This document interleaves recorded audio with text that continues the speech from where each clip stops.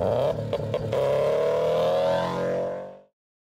How's it going everyone? Today I'm here to show you how to build an effective splitter for not a lot of money with the help of two of my amazing sponsors, RaceBred Components and Professional Awesome Racing. Now the splitter that I'm going to be building today is going to be going on my Scion FRS Time Attack car, but it's important to note that the parts that I'm building it from are essentially universal and can go on any car that you build your splitter for. So before I get started with the install, I'm going to walk you guys through the parts that I'm going to be using and why I decided to use them. First off, the splitter blade itself is made by RaceBred Components, and they build their splitters out of resin impregnated birch honeycomb. Now there are a lot of benefits to building a splitter out of wood. For example, wood is very durable and very strong, but it's also not that expensive. So it's not that expensive to get your original splitter or replace it if you end up breaking it down the road. In addition, another benefit to building your car out of wood is that while wood is very strong and durable, it's also not as strong as carbon fiber. And while that does seem like a plus for carbon fiber, in an impact, if you hit something head on, the carbon fiber splitter will not bend and collapse like this splitter will, so it can instead go into the chassis of your car and you do risk damaging your chassis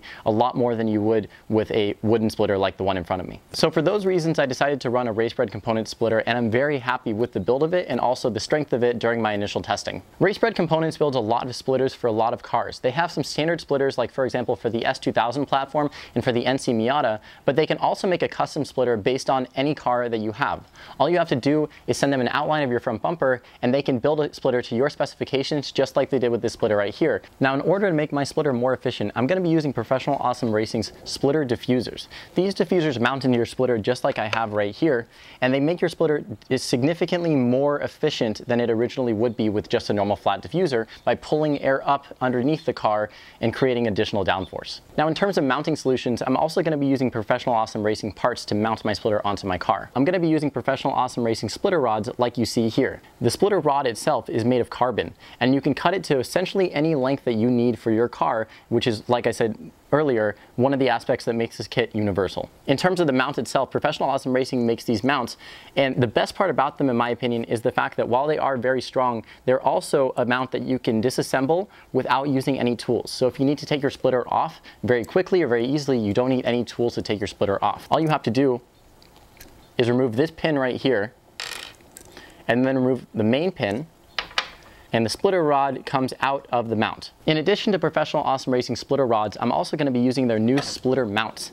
And just like the splitter rods, these are also a tool that you can disassemble without using any tools. So I have the base of the splitter mount mounted to my splitter right here, and then here's the top part which we're going to be mounting to the car. All you have to do to connect them or disconnect them is pop the mount in and it slides into place and locks it there. To disassemble it, you pull this switch right forward and it comes out. No tools necessary, so you can take your splitter off or put it back on super easily. In, for example, if you need to load your car onto a trailer or you need to drive your car up a driveway that has a very high driveway, you can take your splitter off and you don't risk damaging it without using any tools. Now the last part from Professional Awesome Racing that I'm gonna be installing onto my splitter are these titanium skid blocks. These go onto the bottom of your splitter and essentially act as the point where if your splitter gets close enough to the ground where it's going to touch the ground, the first thing that's going to touch the ground are these skid blocks and not the splitter itself. That way you can protect the face of your splitter and the thing that gets damaged are just these titanium skid blocks which are replaceable. Another cool feature of these skid blocks is if you're familiar with time attack racing or any cars that have a lot of aero, when they're driving down a straight and they hit a lot of speed and create a lot of downforce, you'll sometimes see sparks flying out from underneath the front splitter and these will have this effect if you do get to the point where these will touch the ground and you're going at a high speed, these will spark and it looks really cool. Now, like I said in the beginning of this video, these parts are universal, which means that they're not exactly plug and play application for a lot of cars. So the setup that I'm gonna be running on my car is something that I had to do a little bit of testing and, and try a little bit of parts on um, and build a setup that works for my car. And I'll be showing you guys how I did that today. Um, the main way that I went about doing that was I went down to Lowe's and I bought some of these brackets, which are just a universal bracket. And I cut these to different sizes so that I could use these to mount the splitter and the splitter mounts onto my car. So let's go ahead and install some of these parts onto the splitter and install the splitter itself onto my car. So the first step to installing a splitter is we're first going to place the splitter underneath the front bumper about where it's going to be mounted. Then at that point we're going to use some wood and also some cardboard to get it up and flush with the front bumper. At that point we're going to want to make sure that the splitter itself is level. Then we can take off the front bumper and check again with the level to make sure that the splitter is level in both the middle and the sides of the splitter.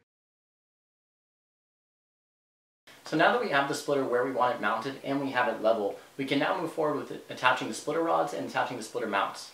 Now, for those of you familiar with the FRS 86 or BRZ, you'll recognize that I don't have the stock bumper bar here, and I instead have the JDL bumper bar. The convenient part about this bar is that it already has pre-drilled and threaded holes underneath it at certain points, and I'm going to be using those to attach my splitter. If you're still running the stock bumper bar, you can essentially just figure out where you want your splitter rods to be and then drill holes in those places.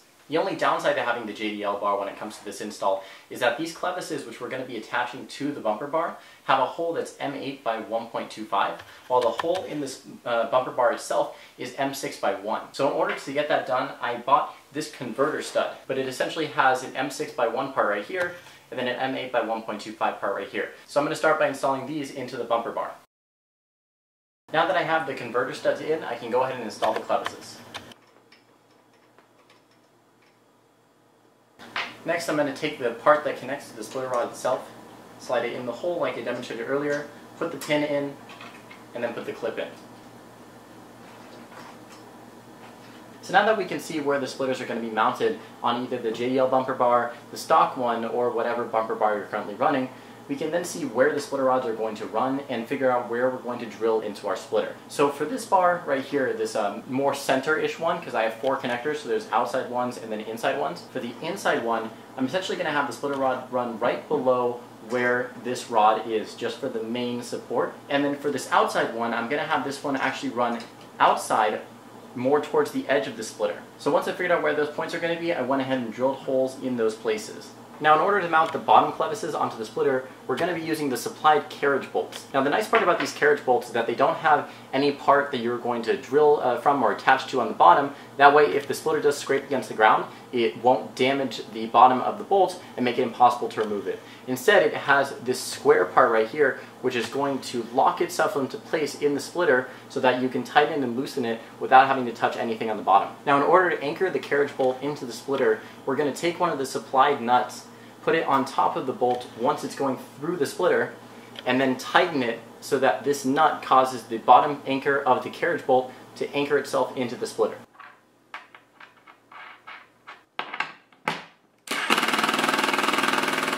At this point, you can go ahead and take the carbon rod and place it next to where the mounts are. That way you can see how long you're going to need to cut it to. Then you can put a piece of tape over it, mark the location you're going to cut it, and then use some kind of rotary tool such as a Dremel tool to cut the rod.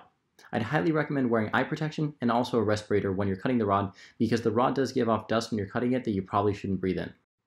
At this point, you can take the rod that you just cut, put it into the top and bottom mounts of your splitter. If necessary, you can use some kind of metal tool such as a screwdriver to twist the bottom mount to make sure that it's in the correct orientation to mount your splitter rod.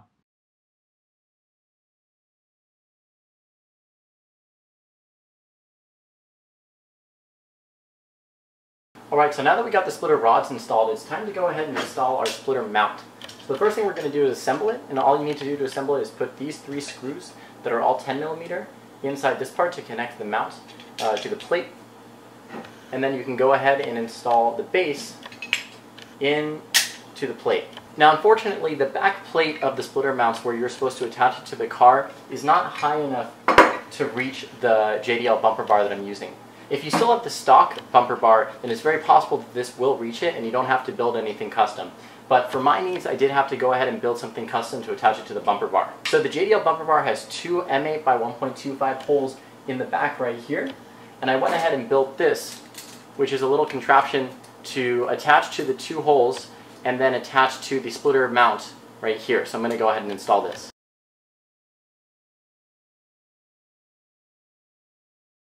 And now that my little contraption is installed, I'll go ahead and put the splitter mount and you can see that now it lines up perfectly. So I can go ahead and use some bolts to attach the splitter mount to the platform that I built. So now that the splitter mount is installed where we want it to be, I'm going to go ahead and use a Sharpie to point out where I need to drill holes to attach the bottom plate.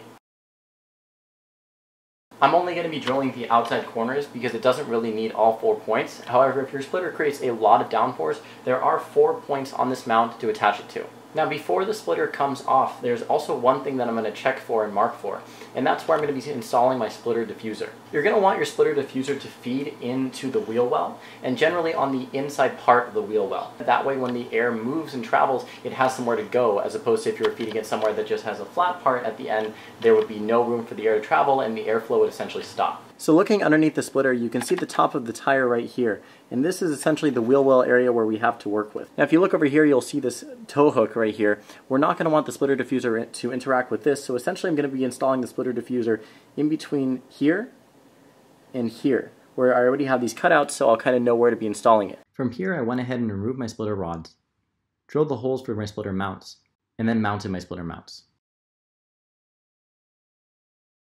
Next I took some measurements of the splitter diffuser, figured out where I was going to be mounting it onto my splitter, and then marked those locations so I could go ahead and cut it. At that point you can test fit the splitter diffuser and make sure it sits where you want it to sit. Then you can use some screws or some rivets to mount it into the splitter. Now for the last modification that we're going to do to the splitter, we're going to be installing these splitter blocks. Now the way I went about installing them was I put a piece of painter's tape on top of them and then marked the distance of the holes. That way I can take off the painter's tape and place it wherever I need to drill the holes on the splitter. As far as where to mount the splitter block, I essentially put it as far forwards as I can go without the screws that attach it on top extending where you will see them in front of the front bumper. Now to install this you will need to go by screws. There are three slots and I recommend buying all three screws for it. The screw size is 1 4th by 20. It's also worth noting that another popular location to mount the splitter blocks is the edges of your splitter on the sides. That way if the sides go to hit the ground, these will hit the ground first and not your splitter. So now that I had both the splitter diffusers mounted and the skid blocks mounted, I put the splitter back on, made some final adjustments with the uh, splitter rods, and used the uh, level to make sure that everything was still sitting level, and basically the splitter is done. One also thing that I did was I attached the fender liner to the splitter rods using some zip ties. And the reason for this is because I'm not going to be attaching the fender liner to the front bumper underneath the uh, splitter, obviously. So to make sure that it doesn't flail backwards and touch the wheel, which can then pull it underneath the tire, I zip tied it here so that it wouldn't go back towards the tire. But just like that, I'm going to go ahead and put the front bumper on, make any trimming that needs to be done to the front bumper in case any of the splitter rods touch the front bumper. And other than that, the splitter looks great. One thing that I might end up doing is I might attach two more splitter rods to the front because my splitter, like I said before, is a 5 inch splitter, which is pretty far out, and I don't want this to flex at all. So I'm going to add two more splitter rods to the front. But if you have a 3 inch splitter, which is probably the normal size for a normal like street driven car, you should be fine with just the four splitter rods and two splitter mounts. Thank you guys so much for watching this video. If you have any questions, leave them in the comments below and I'll get to them. Make sure you guys check out RaceBred Components and Professional Awesome Racing. As you can see by my splitter, they make some pretty cool products that are really cost effective, durable, track oriented, just basically everything that you could be looking while building a track car in your garage like I am. Thank you guys so much and have a good one.